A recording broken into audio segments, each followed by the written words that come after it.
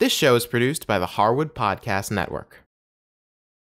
Hi, I'm Cindy Harris, and we love making this show available to you free of charge. If you'd like to help us keep it that way, make a contribution to our Karma Jar. For more information, visit our website.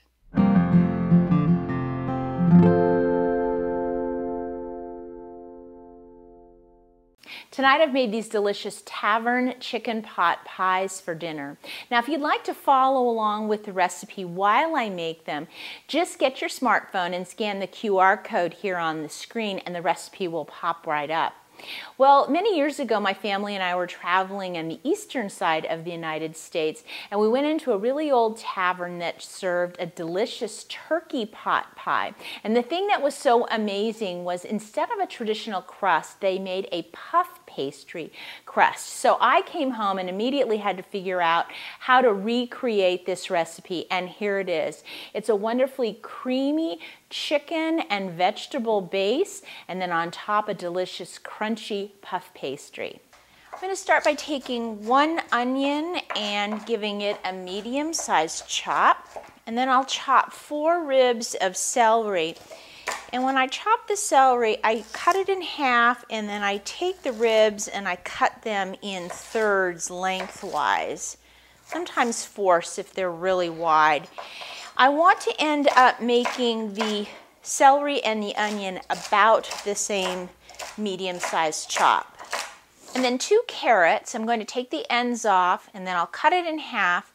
And when I'm cutting a carrot, I like to have a flat surface. So I'm going to cut it in half lengthwise and that way it doesn't roll on the board uh, for me. And then I'll take and cut it into some sticks and then cut it into the same medium sized chop as the onions and the celery. I want to have everything saute at about the same rate.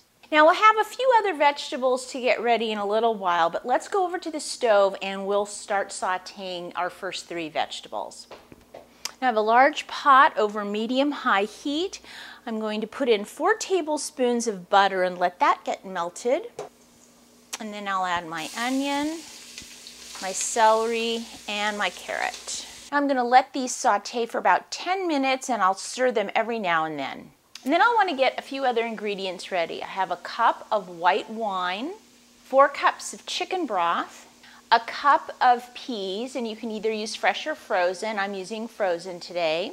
I've sliced up two cups of mushrooms, and then I have some little red potatoes that I actually grew in my garden and I'm going to chop those up again about the same size as the carrots and the celery and the onion and I want to end up with about a cup. Now you can see after 10 minutes I have some nice brown bits at the bottom. I'm going to pour in my wine and I'm going to use my wooden spoon to scrape up those little brown bits at the bottom because that is really good flavor. And then once I see I've picked all of that up, then I'm going to add my peas, my mushrooms, my potatoes, and my four cups of chicken broth. Give that a stir. Bring the heat up to high, and I want to bring this broth to a boil now. And while that's coming to boil, I've got two cups of heavy cream, three garlic cloves that I've minced, and now I'm going to mince up a shallot. Now this is a shallot. It looks very much like a little onion. It's much sweeter though. And when you cut open a shallot, you'll see it's usually two pieces. And for this, I want to cut up both pieces. So I'll peel it, cut it twice this way, just like I would do an onion run some cuts into it, and then cut it in a fine mince. And I'll do the same thing with the other half. Now out of the garden, I've picked a little bit of parsley and some thyme. And I want to chop up about two tablespoons of fresh parsley and a teaspoon and a half of fresh thyme leaves. And I'm just going to pull these little leaves off. If you run your hands backwards, they just kind of fall right off the stem. But we don't want to use the stem. And then I do like to run my knife through those little leaves.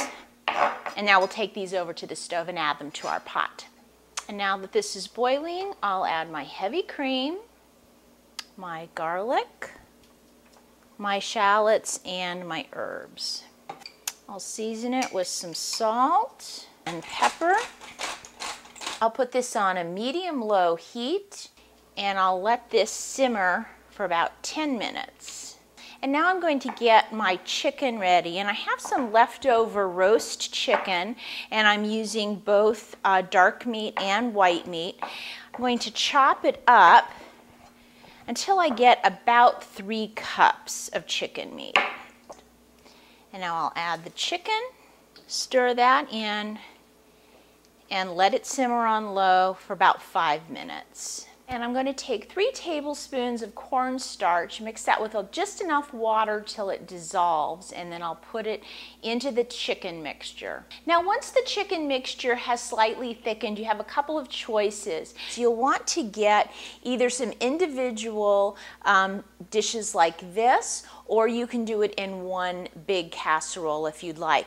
Now, there's enough to do at least six to eight servings, depending on how big your ramekins are. But what you'll want to do is just bake as much as you're going to be eating that night. So for example, tonight I just need dinner for three, but I want to use the rest tomorrow night. I'm not going to put the puff pastry on those until tomorrow night because if you cook puff pastry and then put it in the refrigerator, it just gets soggy and I don't want that. So tonight I'm just going to bake these three off. Now I've taken my um, chicken off of the stove. It's still nice and hot. And at this point, you will want to taste it and make sure it has enough salt and pepper to your liking. And then I'm going to ladle in just about one and a half ladlefuls. Now you'll notice I've put these dishes on a rimmed baking sheet. That will make it much easier to get it in and out of the oven. Now I'm going to get my puff pastry ready. Now this frozen puff pastry has two sheets to a package and it's best to defrost it in the refrigerator overnight if you can. So I'm going to take it out and I'll probably use half tonight and then the other half tomorrow. So I'll put this back in the refrigerator. On my board I'm just going to sprinkle a little flour and then I'll open the sheet up. Now I won't need to roll this out. The thickness is just fine the way it is. I want to make sure that it moves well on my board.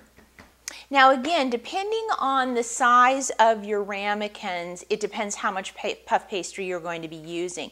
Now this is one of my extra bowls, so I know that this is about the right size. Then I'm going to turn it upside down on my puff pastry and with a knife, I'm going to cut it just a little bit bigger than the bowl, about another half inch all the way around. I was able to get two rounds out of one sheet and then with the scraps I'm going to roll this out to make my third. And when you're rolling out, just make sure that you get it about the same thickness as the others. And that looks about right. Now I'm going to take my rounds and I'm just to lay them on top of my chicken mixture. Now I'm going to make a little egg wash to brush on the top. So in this small bowl I have one egg and I'll put in one teaspoon of water. And with my fork, I'll mix that up real well and then I'll take my brush and I'm going to lightly brush a coating of wash on top of the pastry. Now you want to have a very light hand because you don't want to press the dough into so it pushes down on that um, chicken mixture. We, we, we want the liquid of the chicken to be underneath the pastry.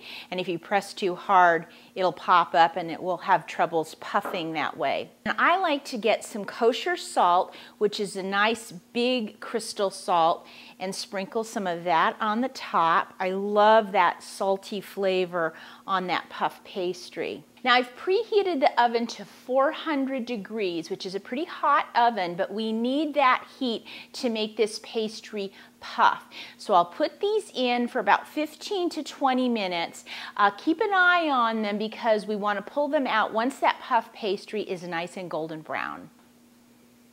Now they've puffed up nicely. Now let me show you how I like to serve them when they're individual like this. I take my plate and I like to put a little beverage napkin on top of it. That way it doesn't slide around. And then if you have some tongs that have these rubber tips, I'd get those. If you don't, you could wrap a rubber band around each side. You just want something that's gonna not slip when um, you grab the ramekin. And then I take my spatula and I just pick it up like this, nice and safe and put it right on the napkin. Well, if you'd like to try these tavern chicken pot pies at home, just go to our website and go to the Easy Entertaining show notes and I'll have the recipe there for you. Don't forget to join us on Facebook. And as always, if you have any ideas or questions for me, please send me an email. I'll see you next time.